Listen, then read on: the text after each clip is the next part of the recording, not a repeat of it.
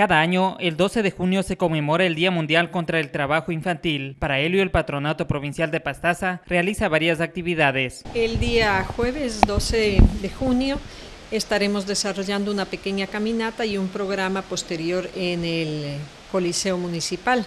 Eh, la caminata iniciará a las 9 de la mañana en el Parque Central con autoridades invitadas y los niños que forman parte de este proyecto, Erradicación del Trabajo Infantil, alrededor de 300 niños que vienen de los cantones Santa Clara, Pastaza y Mera.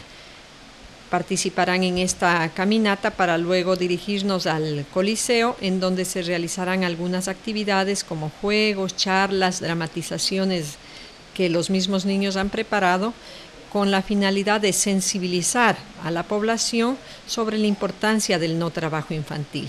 El objetivo es sensibilizar a la población sobre la situación de millones de niñas y niños que trabajan. Por eso, en parte, pues eh, el tema un poco de socializar esto para sensibilizar a la población, ¿no es cierto?, sobre la importancia que tiene em, que no se utilice prácticamente a estos niños como parte de la fuerza laboral de una familia, que conocemos muchas situaciones en donde eh, lejos de hacer que la vida de un niño sea la propia vida de un niño, queremos utilizarles como una fuerza laboral. Entonces, por eso hemos eh, planificado esta actividad para que la ciudadanía se sensibilice ante esta realidad.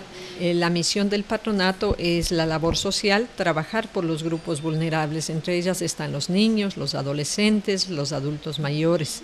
Entonces nosotros eh, tenemos algunos proyectos en donde están abarcadas todas, todos estos grupos vulnerables y en este caso especialmente este grupo de niños. Informó para Sonovisión Pablo Lascano.